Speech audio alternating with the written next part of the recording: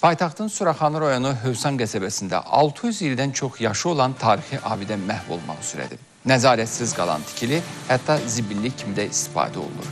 Bu bir yana. Məzarlardakı sümüklər də üzə çıxıb. Yüzilliklər yaşı olan bu qəbristanlıq həm də Mədəniyyət Nazirliyi tərəfindən yerli əhəmiyyətli arxeoloji abidələr kimi qorunmaqdadır. Ancaq buna qorunmaq demək olarsa.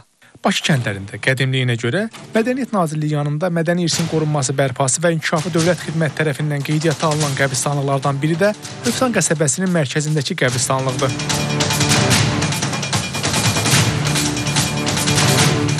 Məzarlıq bir neçə il öncə tarixi abidə kimi qeydiyyata alınsa da, hazırda bura baxımsızlıqdan zibillik ərazisinə çevrilib. Sizcə buranın təmizliyinə kim baxmalıdır?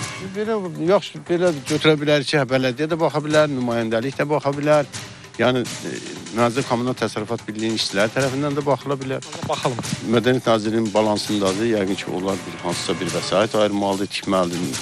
Bələdiyyə olaraq ya icra nümayəndəsi olaraq gəlib biz hasar çəkənmərik. Qəbristanlığın hasarları uçub, kimliyi məlum olmayan məzar daşlarının bəziləri dağıdılıb, bəzilərində isə insan skeletləri torpağın üst qatına çıxıb. Bu qəbristanlıqda irili, xırdalı, ona yaxın belə sərdabə var ki, bu da bu məzarlığın qədimliyini özündə əyanı göstəricisidir. Ancaq təəssüflər olsun ki, qəbristanlığa nəzarət olmadığı üçün bu elə sərdabələr də dağılaraq yararsız vəziyyətə salınıb. Sual olunur. Əgər qəbristanlıq tarixi abidə kimi qeydiyyata alınıbsa, onda məzarlığın bərpası bir yana, qorunması üçün Mədəniyyət Nazirliyi niyə sadəcə tarixi abidənin girişində tanıtım lövhəsinin asılması ilə kifayətlənib?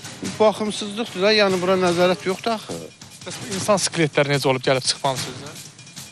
Biri açılandan sonra yəqin çıxar da. Tarixi orta əsrlərə söykənən bu qəbristanlıq uzun illər kənd sakinləri tərəfindən qorunub.